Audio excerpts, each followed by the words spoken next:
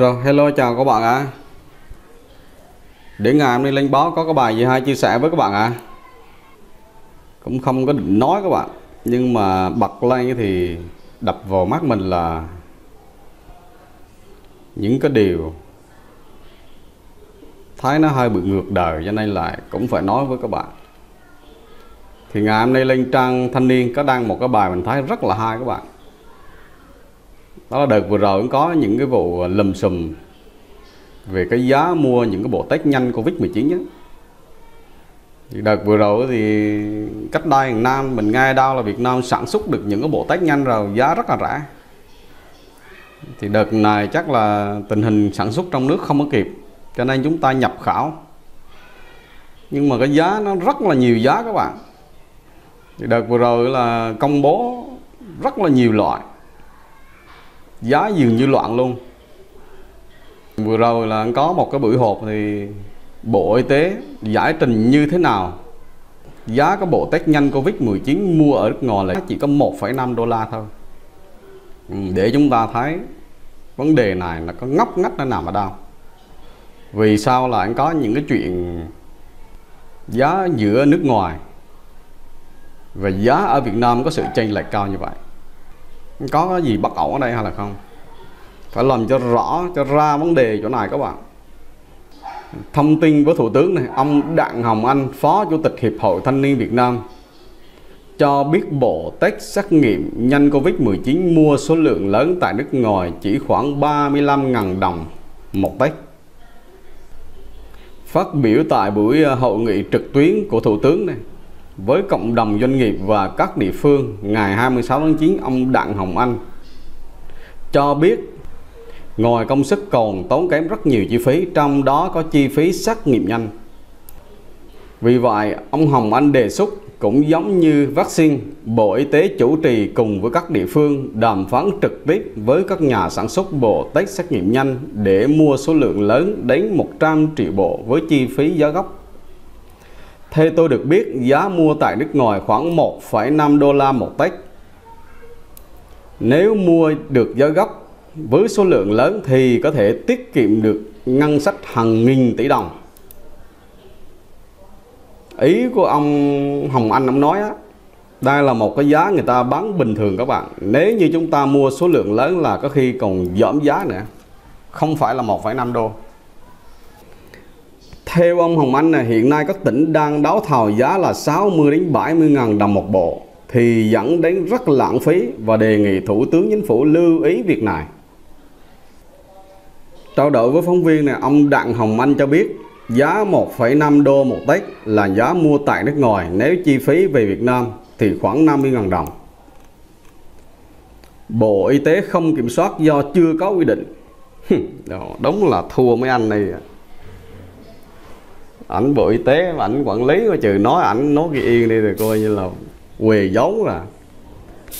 Sinh ra ảnh mà ảnh nói cái này chắc là ảnh là là vụ trang bị ờ, công trình y tế cho biết nè. Ừ, giá test xét nghiệm nhanh do doanh nghiệp tự công bố và tự chịu trách nhiệm. Các địa phương có thể tham khảo trong triển khai đấu giá mua sắm.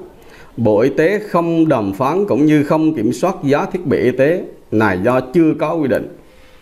anh nói cái yên này thôi giống như ở anh ở từ anh trời rơi xuống các bạn ạ. Đó các bạn thấy không?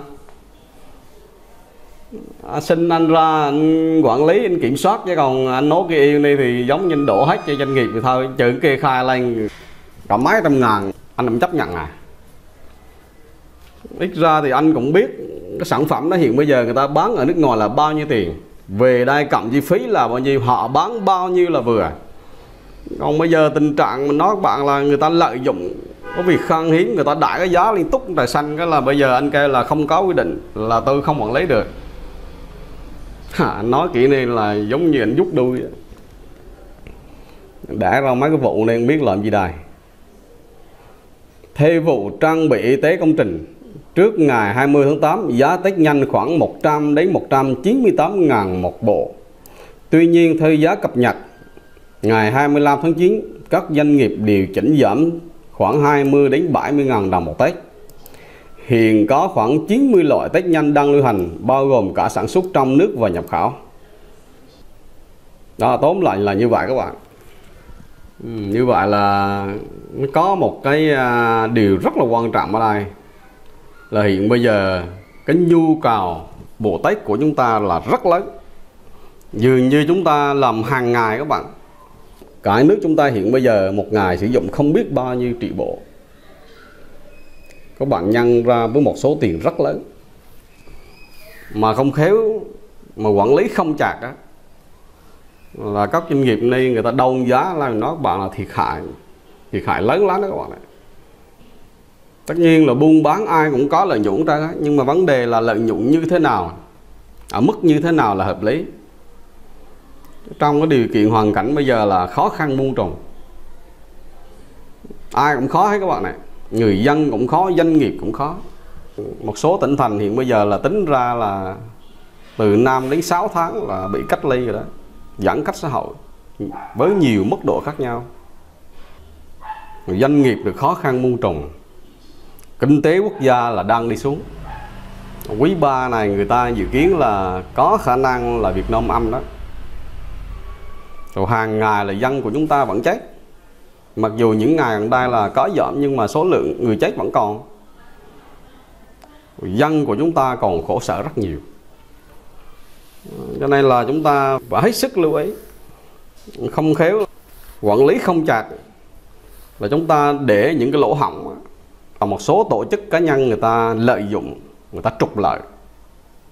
Nhân dân của chúng ta hiện bây giờ là phần đa đều rất mong muốn chính phủ và chính quyền là dỡ giãn cách xã hội để cho họ quay trở lại cuộc sống bình thường, để buôn bán kiếm cái ăn, để đi làm để có đồng lương. Nhưng mà tình trạng này mà chúng ta quản lý không khéo các bạn này là sẽ có một số bộ phận họ cũng không muốn bỏ cái giãn cách xã hội này đâu các bạn ạ. Có khi là họ muốn kéo dài như vậy là họ cần cái lợi đó, các bạn thấy không? Ở đau rồi cũng có những tình trạng này tình trạng kia. Và hết sức lưu ý các bạn. Cũng may là hôm đó có anh Hồng Anh này anh đưa vấn đề này ra chứ không lưu lưu lắp là mình nói các bạn cũng không ai nói trước được. Công bố ra biết chứ còn ví dụ như không công bố lâu lâu lắp biết đường nào? Bởi nên cuối cùng mình nói quan trọng nhất vẫn là cái sự minh bạch chứ còn không minh bạch, nói bạn là lâu lâu lắp cái tráng cái đang nó lẫn lộn là sinh ra tiêu cực lẫn nào ở chỗ cái không minh bạch đó. Mình đọc cho các bạn một cái cái bài nữa các bạn này. Đợt vừa rồi là tỉnh Bà Rịa Vũng Tàu là bất ngờ hủy gói thầu 210 tỷ mua bộ test nhanh Covid 19 đó các bạn à ngày 25 tháng 9 này, tỉnh Bà Rịa Vũng Tàu cho biết đã ra quyết định thu hồi, quyết định phê duyệt kế hoạch đấu thầu. À, theo đó, để đảm bảo việc mua sắm sử dụng à, vật tư à, theo đúng chỉ đạo của thủ tướng này, ủy ban tỉnh đã quyết định tạm dừng cái gói tết này. Để tạm dừng việc này, tỉnh đã thu hồi các quyết định có liên quan, trong đó có quyết định phê duyệt kế hoạch đấu thầu với cái giá là 210 tỷ đồng. Trước đó dựa trên tờ trình của Trung tâm Kiểm soát Bệnh tật tỉnh Bà Rịa Vũng Tàu, báo cáo của Sở Y tế, ý kiến của các sở ngành liên quan. Tỉnh Bà Rịa Vũng Tàu đã có quyết định phê duyệt kế hoạch lựa chọn nhà thầu mua sắm bộ test nhanh COVID-19 với giá là 210 tỷ đồng. Bên mời thầu là Trung tâm Kiểm soát Dịch bệnh. Sau đó trung tâm này đã phê duyệt kết quả chỉ định thầu. Kết quả là công ty cổ phần Amafoco dưới đây. À, trúng với giá là 202,5 tỷ đồng. Trong ngày 22 tháng 9 trung tâm à, kiểm soát bệnh tật ban hành công văn thay đổi giảm giá bộ test nhanh còn 135.000 tỷ đồng một mẫu. Trước đó là 175.000 đồng một mẫu. Đó, các bạn thấy không? Đó giá 175 ngàn à, không biết trục trặc hay không thì mình không biết nhưng mà sau đó là giảm xuống còn 135 mà 135 thì đấy đúng như cái giá 1,5 đô là vẫn còn một khoảng cách rất là xa.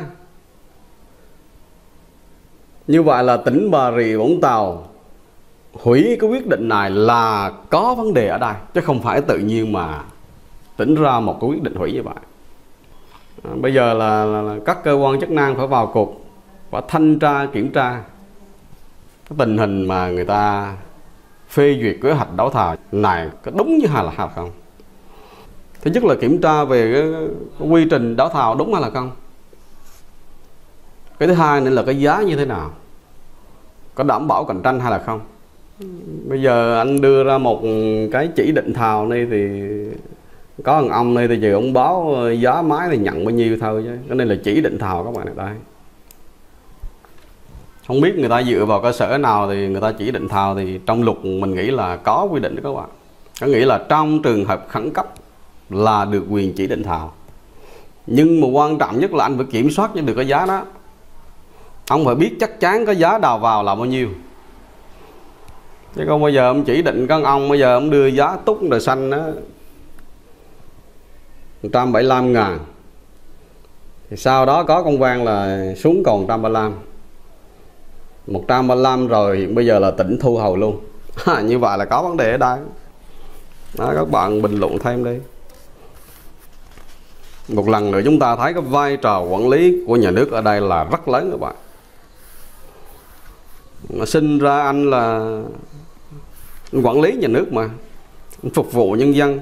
Cái gì không có lợi cho dân thiệt hại cho dân thiệt hại cho nhà nước là anh phải nhảy vào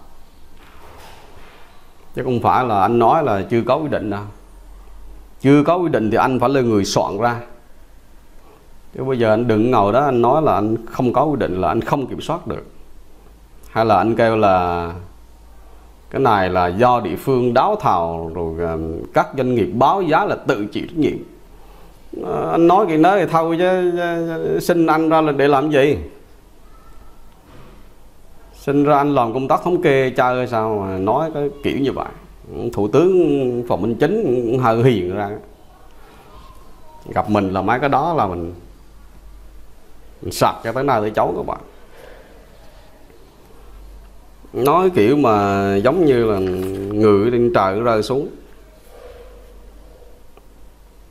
Một lần nữa chúng ta thấy là nếu như chúng ta làm không chặt chẽ không khéo, trong cái dịch covid này là những cái vụ mua sắm này là có khi là một miếng mồi ngon miếng mồi thơm cho một số bộ phận, một số cá nhân đó. Không khéo là lợi ích nhốt nó nằm lăn quẩn ở đây. Nên chúng ta chống chống dịch nhưng mà cũng phải vừa chống có việc đào cơ trục lợi. Tiền là cuối cùng nhà nước bỏ ra mà chứ tiền nhà nước là ở đâu thì cũng của dân đóng góp vào thì hắn mới hình thành nên ngân sách nhà nước. Một lần này chúng ta thấy là chính quyền người ta làm như vậy, mình nghĩ là quốc hội cũng phải nhảy vào cuộc. Hoặc ở tỉnh thành là những người làm trong hội đồng nhân dân cũng phải nhảy vào cuộc. Sau này là phải chất vấn, yêu cầu là chính quyền phải giải trình. Còn quốc hội là phải yêu cầu chính phủ giải trình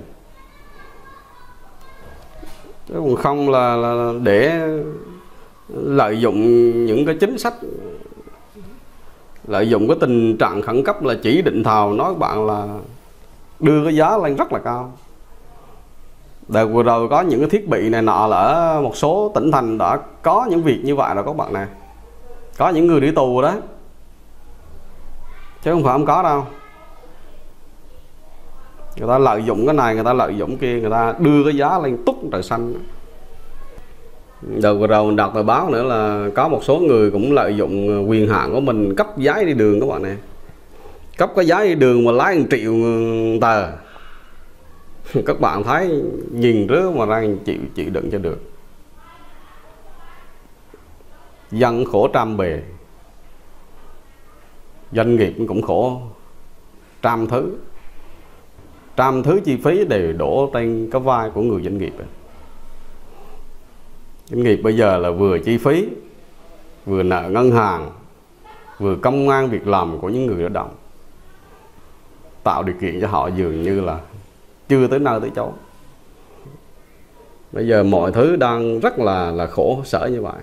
Không có sự thông cảm nhưng mà tận dụng cái thời cơ này để làm giàu một cách, thu tiền một cách bất chính đúng là qua dịch Covid này chúng ta thấy rất nhiều vấn đề các bạn.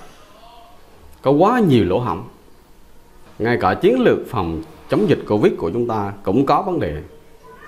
Chúng ta đưa ra mục tiêu ban đầu là các bạn biết là vừa chống dịch mà vừa phát triển kinh tế. Nhưng mà bây giờ các bạn biết là hai mục tiêu đó chưa có đạt được một cách mỹ mãn. Hiện bây giờ ngày nào cũng 10 ngàn với 11 ngàn số ca người chết thì hiện bây giờ cũng đang giảm rồi đó.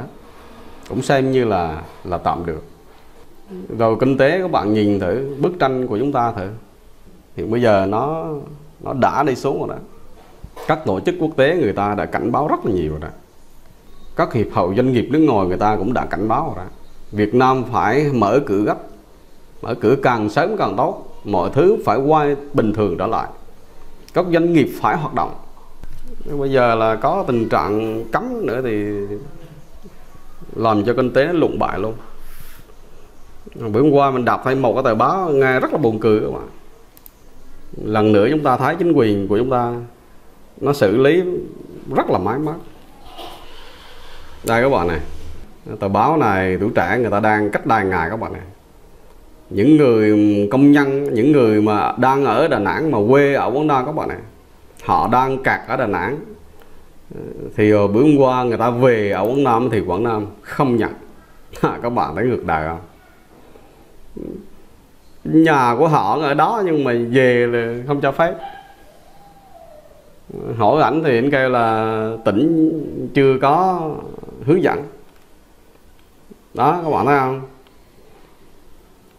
Về nhà không được, ở cũng không sao ngày 25 tháng 9 này anh Lê Minh Quân rời chốt ờ, kiểm soát Đà Nẵng về quê ở huyện Thăng Bình này, thì bị chốt kiểm soát ở quân Nam ở đó khoảng một km không cho qua.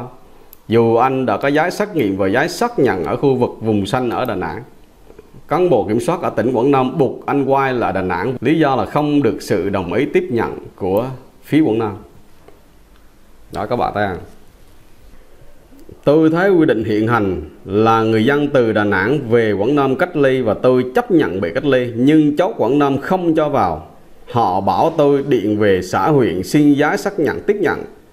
Tôi điện cho cả chủ tịch xã lẫn phó chủ tịch huyện Thân Bình thì các anh đều nói tỉnh chưa có hướng dẫn xác nhận này. À, các bạn thấy không? Chính quyền ách tác rứa đó. Nó quay về quê mà quay cũng không nổi không sao luôn với máy tháng này quy định hướng dẫn làm đâu à, các bạn thấy à áp tác rứa các bạn này ít ra thì anh và có hướng dẫn bây giờ về nhà cách ly tại nhà hay là, là như thế nào? Hay là cách ly tập trung? Hay là điều kiện như thế nào là anh mới đưa ra hướng dẫn cho họ chứ? Bây giờ họ có việc người ta ở Đà Nẵng còn lâu lắc lâu lá rồi bị mắc kẹt ở đây rồi bây giờ họ phải về quê chứ về quê chặn lại không cho về quay là Đà Nẵng. Quay là Đà Nẵng rồi cuối chừng ông Đà Nẵng không nhận nữa. Ông Đà Nẵng kêu là ông, ông từ Quảng Nam qua Đà Nẵng rồi không cho. Lần hoàng lần hoàng chết nữa. Bạn chết. Hồi xưa thầy cái diễn tranh gọi là đi giữ hai lần đạn đó. Còn cái trường hợp mà mấy anh đây không biết đi đường mô hết.